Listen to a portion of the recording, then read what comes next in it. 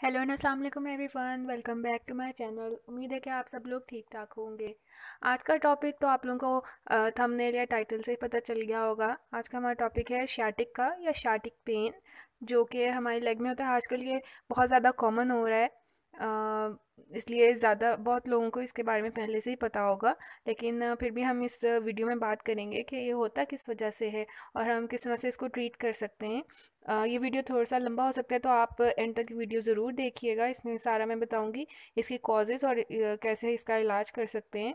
तो वीडियो शुरू करने से पहले आप लोग जाइए और मेरे चैनल को सब्सक्राइब करें, जिन लोगों ने अभी तक नहीं किया तो अब बात करते हैं कि शैटिक पेन किस वजह से हो सकती है। हमारी लेग्स में से शैटिक नर्व पास कर होती है, एक राइट लेग में से और एक लेफ़्ट लेग में से।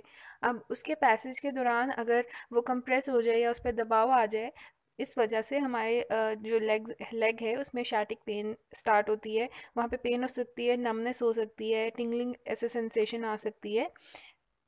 तो उस कंडीशन को हम शैटिका या शैटिक पेन का नाम देते हैं।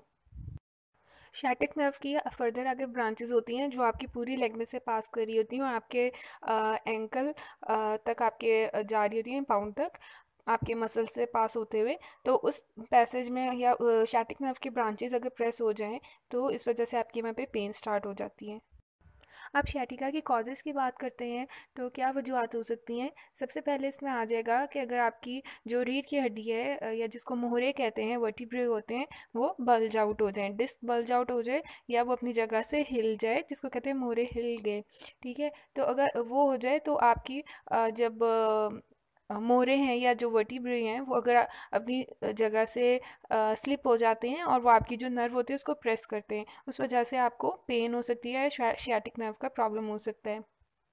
इसके अलावा सेकंड में आ जाता है केनाल स्टीनोसिस केनाल स्टीनोसिस होता है जब आपकी जो रीढ़ की हड्डी है या जो वर्टिब्री है आ, उसकी जो आ, उससे आपकी जो नर्व है पास कर रही होती है और अगर वो नैरो होती जाए तंग होती जाए तो आपकी नर्व प्रेस हो जाती है। थर्ड पे आ जाता है जो आपके मसल्स हैं, आपके बटक के मसल्स या परफॉर्मेंस मसल्स को मेडिकल लैंग्वेज में कहते हैं।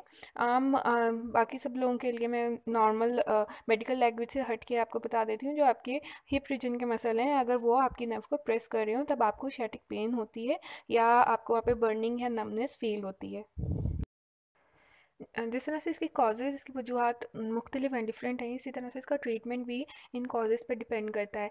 हमें कॉज जो है, वजह पता होनी चाहिए और जब वो वजह ही हम ठीक करेंगे, तभी आपकी शाटिक पेन खुद ब खुद ख़त्म हो जाएगी। जिस तरह से अगर आपकी डिस्क बल जो हो रही है, आपके मोरे अपनी जगह से हिले हुए हैं तो अगर हम वो पहले फ़िक्स करें या डॉक्टर से उसका इलाज कराएँगे तो आपको शाटिक पेन से खुद ही आराम मिल जाएगा। शैटिक पेन की बात करें, होती है किस तरह की है? आपको पेन तो फील होती है उसके साथ साथ आपकी पेन होती है वो आपके हिप रीजन से लेके आपके पूरी टांग में होती है। जो पेन आपकी पूरी लेग में हो रही हो आइधर एक राइट साइड वाली लेग में लेफ़्ट साइड पर, उसको हम कहते हैं शैटिक पेन और जो आपके नी तक होती है, वो एस आई जे ज्वाइंट की पेन होती है उस पर मैं किसी और वीडियो में बात करूँगी उसके ऊपर, वो एक बहुत लंबा टॉपिक है। तो आपकी पूरी लेग में अगर जो पेन हो रही थी, वो है आपकी शैटिक static pain. और ये पेन आपको उठते बैठे हर टाइम हो सकती है। आ, ऐसा पॉसिबल है कि अगर आप एक पोजीशन में बैठे रहे तो आपको पेन ये कम हो जाए लेकिन जिस तरह से आप मूवमेंट शुरू करेंगे फिर से आपको ये पेन उतनी ही इंटेंसिटी उसकी उतनी ही ज़्यादा हो सकती है। तो अब हम बात करेंगे ट्रीटमेंट ऑप्शन के बारे में। ट्रीटमेंट ऑप्शन हमेशा वजह पर डिपेंड करेगा कि उसकी कॉज को अगर हम सही कर दें तो हमारा जो बीमारी है वो ठीक हो जाएगी। तो फ़र्स्ट तो हो गया कि अंडरलाइन जो कॉज आ रही है उसको हमने ठीक कर दिया तो आपकी पेन ख़त्म हो जाएगी। इसी के साथ साथ आप अपने जो पेनफुल एरिया है वहाँ पे आप heat and cold pack use कर सकते हैं। मैं पहले अपनी वीडियोस में बता चुकी हूँ इसके बारे में। आप पेन किलर ले सकते हैं लेकिन पेन किलर से ज़्यादा मैं आपको आगे कुछ स्ट्रेचेज या कुछ एक्सरसाइजेस भी यहाँ पे दिखाऊँगी। उस पर वो करके उस तरह से आप पेन रिलीव करने के लिए कुछ एक्सरसाइजेस उसमें सबसे पहले आ जाएगा नी टू चेस्ट एक्सरसाइज ये आप सिंगल नी टू चेस्ट भी कर सकते हैं और डबल भी। सिंगल किस तरह से करेंगे ये मैं अपनी पहले वीडियोज़ में इसकी फुल डिटेल बता चुकी हूँ। मैं आपको फिर से बता देती बताती हूँ।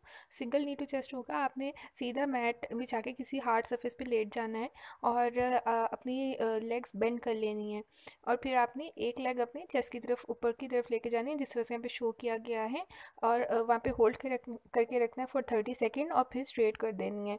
और इसी तरह डबल नी टू चेस्ट आपने दोनों टांगे एक साथ अपने चेस्ट की तरफ़, ऊपर की तरफ़ लेके आनी है और फिर वहाँ पे होल्ड करना है थर्टी सेकेंड और फिर रिलीज़ कर देना है और ये आप रिपीट कर सकते हैं। टू टू फोर टाइम्स जितना ईजिली आप कर सकें। इससे बहुत ज़्यादा ये इफ़ेक्टिव होती है शैटिक पेन के लिए।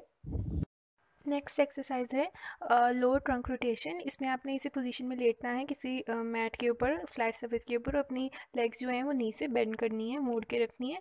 और दोनों लेग्स को आपने पहले राइट साइड पे ले जाना है, फिर लेफ़्ट साइड पे। इस तरह साइड टू साइड अपनी लेग्स को मूव करना है। जब आपने एक साइड पे जाना है, सपोज़ अगर आपने राइट साइड पे जाना है तो वहाँ पे आपने होल्ड कर करके रखना है थ्री टू फाइव सेकंड के लिए और फिर रिलीज़ कर देना इस तरह से आपकी जो लो बैक है, उस पर एक सॉफ्ट सा जेंटल सा स्ट्रेच आएगा और आपकी जो पेन है, वो भी कम हो जाएगी काफ़ी हद तक और ये आप रिपीट कर सकते हैं टेन टाइम दोनों साइड पर। और नेक्स्ट एक्सरसाइज है पेल्विक टिल्ट पेल्विक टिल्ट आपने किस तरह से करना है? आपने इसी तरह से जो आपको स्टार्टिंग पोजिशन मैंने बताई है आपने मैट पे फ्लैट ऐसे लेट जाना है और नीज से अपनी टांगें मोड़ लेनी है।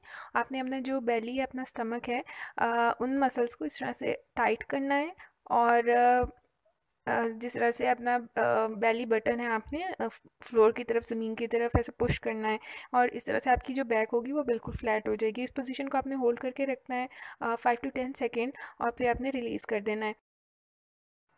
शैटिका बहुत ही ज़्यादा एक सीरियस टॉपिक है या एक बहुत ज़्यादा सीरियस कंडीशन है। तो इसके लिए मैं कुछ हाई इम्पैक्ट एक्सरसाइजेज आप लोगों को नहीं बता सकती। ये बिल्कुल ही लो इम्पैक्ट एक्सरसाइज हैं। इसमें आपकी जो मसल्स हैं वो स्ट्रेंथन होंगे और आपकी जो रेंज ऑफ़ मोशन है आपकी लोअर बैक की वो इंक्रीज़ होती है और आपके जो, अगर आप इसको करेक्टली परफॉर्म करें तो फ्लेक्सिबिलिटी इंक्रीज़ होती है और पेन रिलीफ होता है।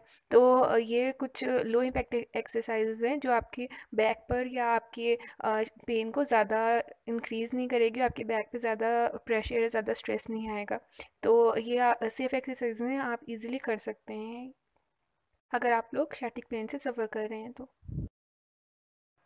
और अगर आपकी शेटिक पेन बहुत ज़्यादा सीरियस होती जा रही है तो do consult a doctor doctor की एडवाइस के बगैर आप बिल्कुल भी हाई इम्पैक्ट एक्सरसाइजेज नहीं करें या कोई भी हाई इम्पैक्ट वर्क या लोड लिफ्टिंग नहीं करें.